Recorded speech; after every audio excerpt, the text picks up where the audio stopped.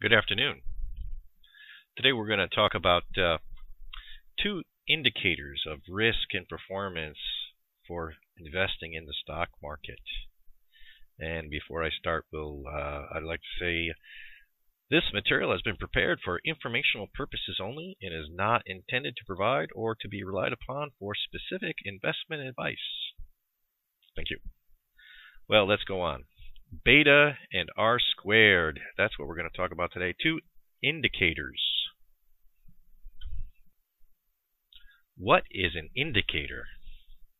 Here I have a jet cockpit up on the screen and it's chock full of dials and called indicators. But what is an indicator when we're talking about investments? Indicators are numbers or calculations that provide information to help us make good investment decisions. They're statistics or calculations. They're numbers often. We can use a collection of our favorite indicators. We collect them together into an investment toolbox of sorts. It helps us navigate through the market just like the airplane pilot uses the indicators in his or her cockpit to help navigate the plane. Now we have three basic types of stock indicators. The first type is descriptive. Those are like the industry, the market capitalization, the dividend yield, the average volume traded. Those are descriptive stock indicators. The second type of stock indicator is uh, fundamental stock indicators. Those are like price to earnings ratio, sales growth, return on investment, debt to equity ratio.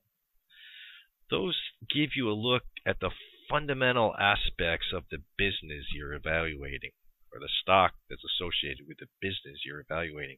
An under the hood look at a business like a CPA might look at it.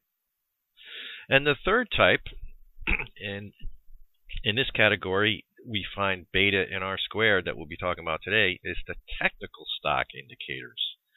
Like I said, beta in R squared, which I'll explain in a minute.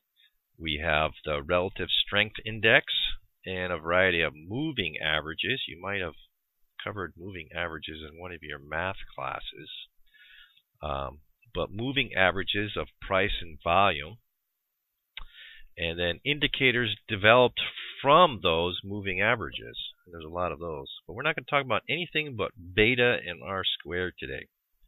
Now those are stock indicators, but there's other indicators, that is numbers or statistics or calculations that you might want to use to help in your investments. And those uh, are like market indicators would be one set that tell you which direction the market is going.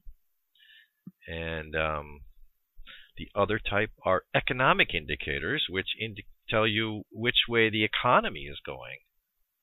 But today we're going to give you an example of a stock two indica stock indicators, uh, beta and R2, and those are technical stock indicators. So there's thousands of thousands of indicators, but today we're only going to talk about two. If you want to see examples of these indicators, probably the best place to go I have found is a site called finviz.com. That's F-I-N-V-I-Z.com.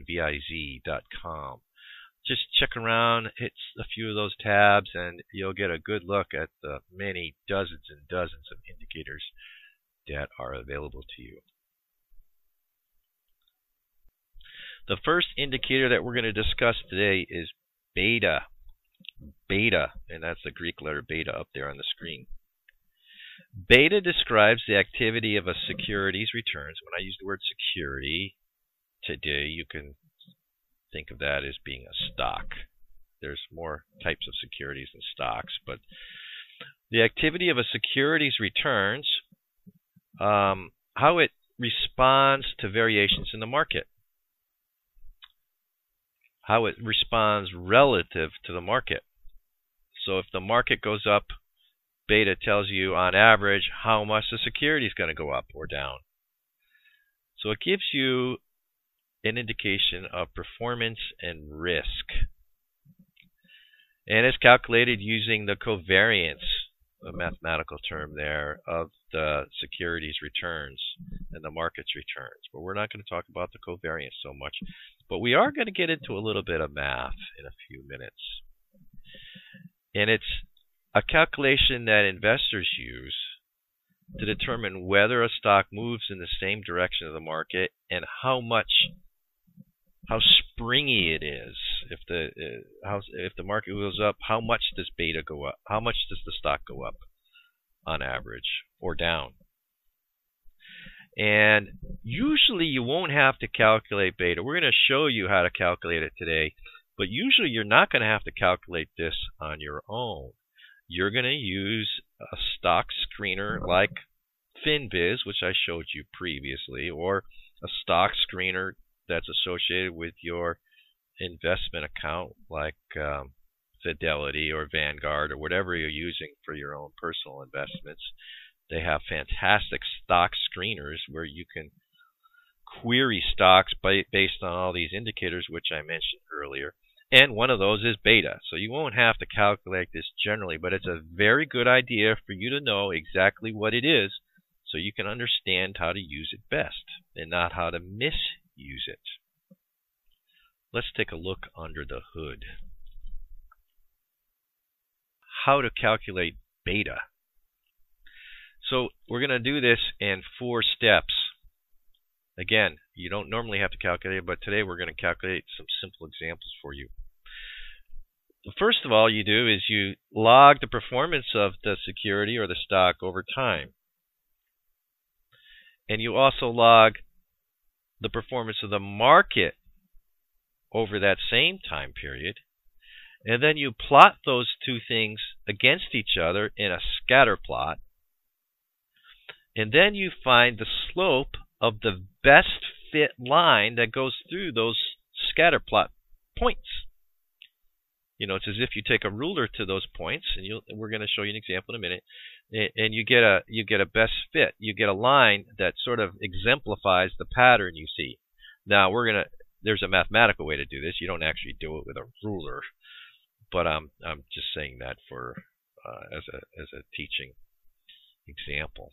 Okay, so when when I'm talking about performance, logging the performance, I'm talking about um, keeping track of the daily closing prices of the stock over some time period, and then you calculate the gains and losses from day to day.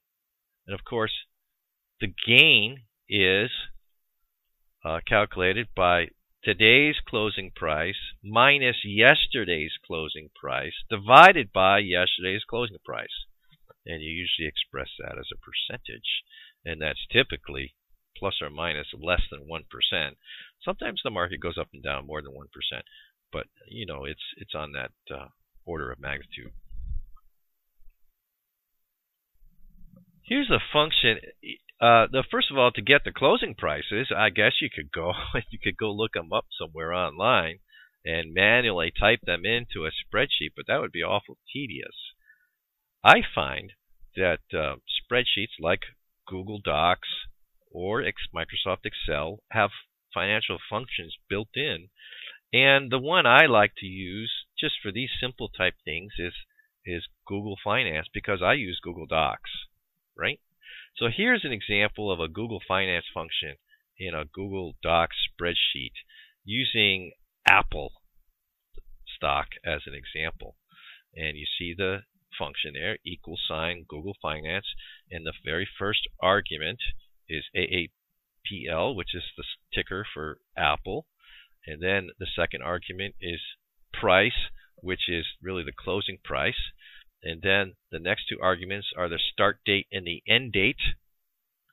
And the, the last argument is daily, which means you want the stock closing price for each day. Okay? I invite you to try that out in your own Google Docs spreadsheet if you have a Gmail account, if you have a Google account. If you don't, I think maybe you should get one just for creating little spreadsheets to help you.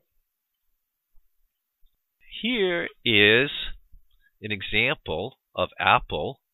Um, the results you get when you use that Google Finance function. Now, when you use that Google Finance function, you really only get the first two columns here for the date range you get you specified. You're going to get the first column is the date and time, and you notice that 1600 hours. That's the four o'clock closing time, right? And then the next column is the closing price in dollars. The third column is something I calculated, and that again is um, today's closing price minus yesterday's closing price divided by yesterday's closing price, formatted as a percentage. Okay? So normally here I only have a few days, right? I have what, like six days up there? But you're going to want to calculate beta over more than six days, at least 20 uh, or 90, something like that. So that's the performance of the stock. The next thing you're going to do is calculate the performance of the market. Now, how the heck you do that? Well, one of the most common indicators or um, ways to characterize the market is to use what we call the S&P 500 stock market index. The S&P 500 is a stock market index that measures the stock performance of 500 large companies that are listed on stock exchanges in the United States. And most of us consider that to be one of the best representations of the US stock market. And so that's what we're going to use as our standard.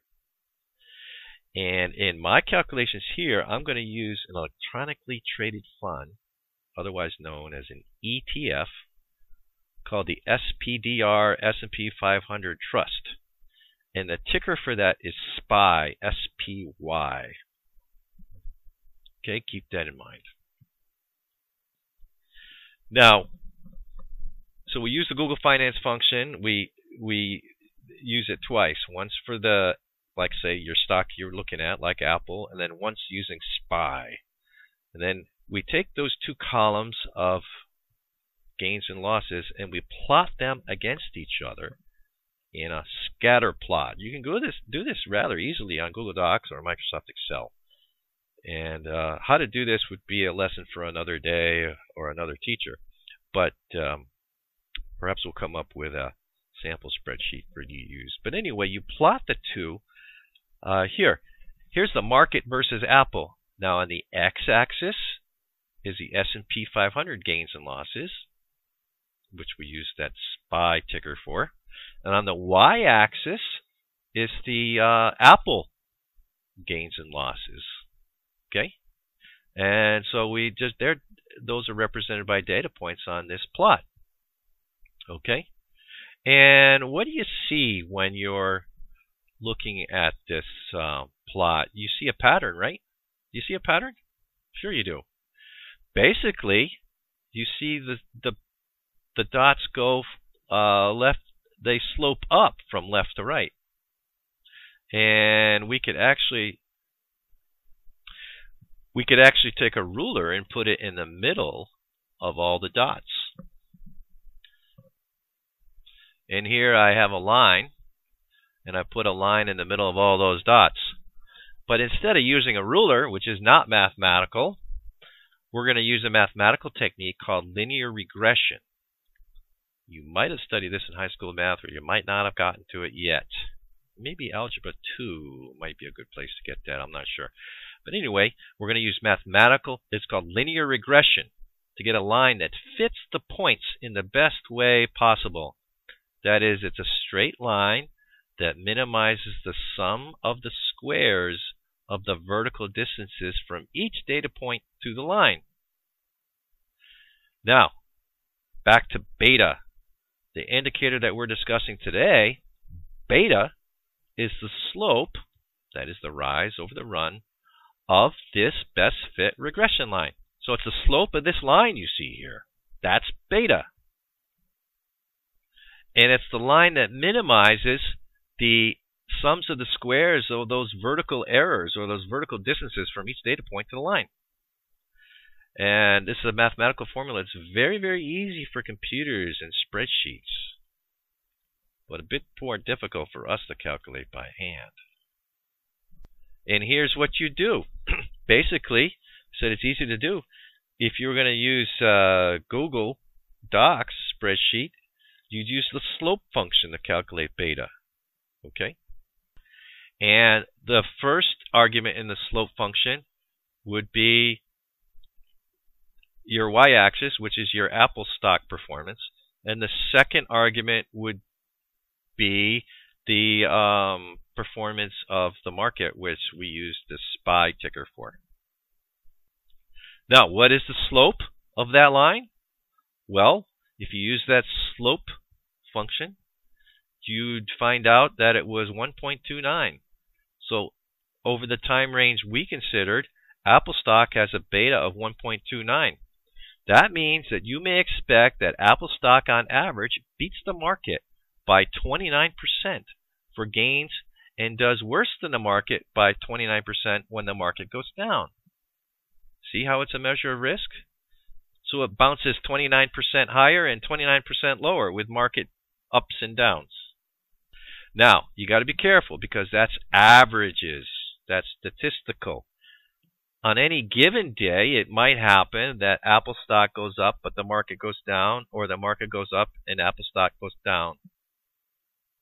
Did I say that right? Yeah. Okay. So it might it might go vice versa, but we're talking about averages. Here's another one. Uh, I'm using a ticker called SCHB, which is the uh, Dow Jones U.S. Broad Stock Market Index, and we see that the beta there. Look at that. It's almost like a it's a, almost like a straight line. The pattern is so so good and the slope is almost exactly 1.99. This means that this matches the market almost exactly. So which brings up a good point. If this slope, if this beta is greater than 1, then the stock market the stock is expected to beat the market on average. And if it's less than 1, it's expected to underperform the market. And if it's equal to 1, like this example here, it should match the market in performance. Getting the idea how you might want to use beta? Here's another example.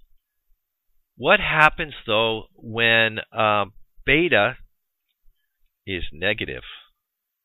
That's right. If you do this versus certain stocks or securities, you'll find a negative beta. The, the line slopes the other way. What the heck does that mean?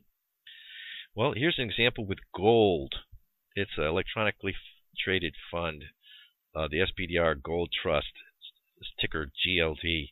In it, at least over this time frame, operated opposite to the market, a negative slope, which means generally when the market went down, it went up, and when the market went up, it went down. Now we can sort of figure this one out because that people invest in gold, they start investing in gold when the market's poor, and then they buy more stock and sell their gold when the market is good. Okay? Now, what would you do with a negative beta? When would you want to use a negative beta stock? Maybe when the market's poor, right? Here's a better example of a negative beta.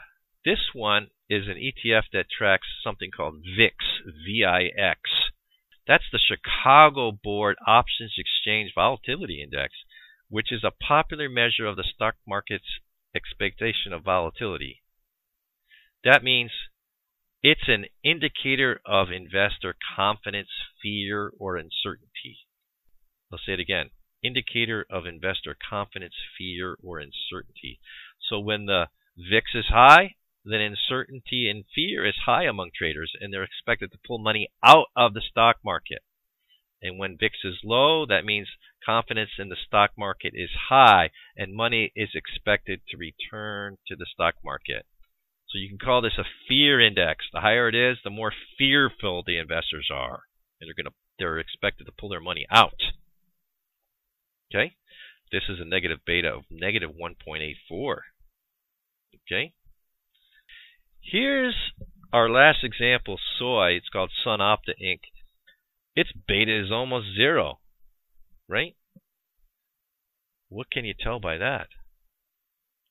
Well, you can't tell much because the performance of SunOpta Inc. doesn't seem to be correlated to the market at all. this makes no sense. There's no pattern for us to recognize here. And that brings us to our second indicator that we'll be discussing today, which is R squared. R squared is called the coefficient of determination, and it's a statistical measure of how close the data points are to the regression line. So I showed you a lot of scatter points today, and some of them were more tightly were more tightly uh, spaced toward the line, and some of them were more scattered, right? Well, R squared sort of measures that. So these two indicators, beta and R squared, sort of go together. R squared sort of tells you how good or how reliable your beta is. Okay, so the two should be thought of as as as a team working together. And in investing, R squared is interpreted as the percentage of a fund's or securities or stocks movements that can be explained by the movements in the market. Okay. So R squared value for SunOpta is zero, which means that none of its price movements can be explained by the market. It's not correlated with the market. So R squared values normally range from 0 to 1 or are stated as percentages from 0 to 100%. So an R squared of 100% means that all movements of a security are completely explained by movements of the market. So in investing, a high R squared between 85 and 100% indicates the stock's performance moves in line with the market. And a fund with a low R squared indicates the security does not generally follow the movements of the market. And so the higher the R squared value is, the closer it is to 1 or 100%, the more useful the beta is. And I'll show you some R squared values for some of the stocks we talked about today. 91% for that Dow Jones Market Index. 46% for Apple, so that means that uh, only 40%, 46% of Apple's performance can be attributed to the market. Gold was 27%, and soy was zero, as we've already discussed. How do you calculate R squared? Well, we use in Google Docs, we use the CORREL function.